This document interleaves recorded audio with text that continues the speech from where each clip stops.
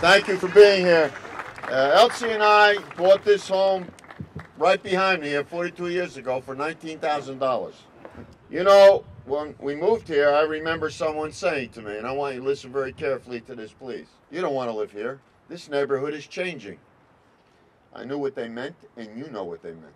So I told the person who said that to me, I know it's changing. That's why I want to live here. Because I wanted to raise my family in a place just like this. I've never forgotten my roots. They define me as a person. That's who I am. And they define who I am as an elected official as well. Holding office has never been about climbing up the political ladder, but a way for me to help my community that meant so much to me. And that's what public office should be. And when I got to Washington, I brought a little bit of that Passaic County attitude and have never, ever let go, and I never will. We needed 200 registered voters to sign the petition that once certified will allow me to appear on the ballot in the upcoming primary, June the 5th. I'm humbled and proud to announce today that we are, at this very moment, submitting 10,332 signatures. I hope when you're considering and after you consider, you'll please vote for the Pascrell Democratic team on Tuesday, June the 5th. God bless you and God bless America. Thank you.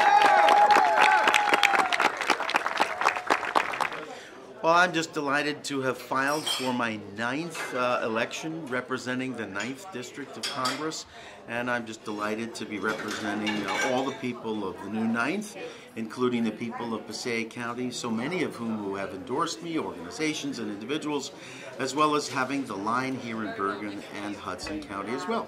Uh, I'm looking forward to the race. The people of the district really are looking for a progressive Democrat, and they're looking for somebody who will fight for them. So when uh, people in the middle class wanted uh, their representative to fight for them uh, and not give away the store to the super rich in America, Bill Pascrell voted to eliminate all estate taxes for billionaires, and I voted no.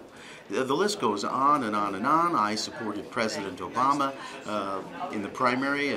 Uh, uh, Bill Pascrell did not. I was the first to call for the withdrawal of our troops from Iraq. Bill Pascrell followed me. I think the, the voters have a very clear choice. If they want the progressive Democrat, they'll vote for me. Uh, I'm delighted the way our campaign is going, but uh, everyone's entitled to their way of doing things.